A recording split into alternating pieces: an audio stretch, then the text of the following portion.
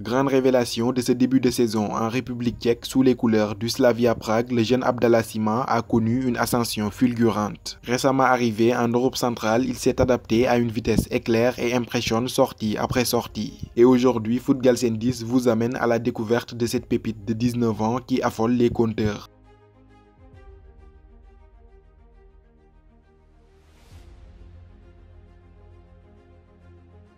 Né le 17 juin 2001, Abdallah Sima, numéro 9 de formation, capable d'évoluer en ailier, a fait ses gammes au Sénégal avant de s'envoler pour la France. Direction Evian Tonon Gaillard, dont il intégra l'équipe U19 qui évoluait à l'époque en 11e division française. Désireux de donner un coup de pouce à sa carrière plutôt que de s'enfoncer dans les bas-fonds du niveau amateur, Abdallah Sima pris une décision risquée mais finalement payante en allant tenter sa chance en Europe centrale, plus précisément en République tchèque. Au pays de Pavel Nedved et de Petr Tchèque, Abdallah Sima sent très vite qu'il s'est retrouvé au bon endroit et au bon moment. Au courant de l'année 2020, il réussit ses tests avec le club de seconde division tchèque, le Mas Taborsko.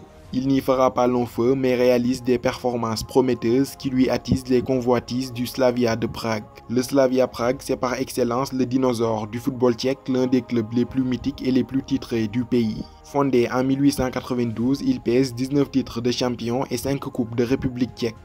Abdallah Sima y pose ses valises peu avant le début de l'exercice 2020-2021. Initialement, il devait rejoindre l'équipe réserve du club de la capitale, mais il fut tellement excellent que l'entraîneur fut obligé de l'intégrer chez les A. Auteur de 4 buts en 6 matchs avec la réserve du Slavia de Prague, Sima marquera les esprits lors des matchs de préparation de la saison 2020-2021, avec notamment un doublé en match amical. Arrivé en équipe première dans la peau d'un jeune en plein apprentissage, Abdallah Sima a dû attendre patiemment son heure de gloire. En septembre, il jouait ses 5 premières minutes en championnat lors de la large victoire du Slavia Prague 3 buts à 0 face aux Slovako lors de la cinquième journée. Il marquera son tout premier but avec le Slavia Prague en match officiel le 21 novembre contre Opava.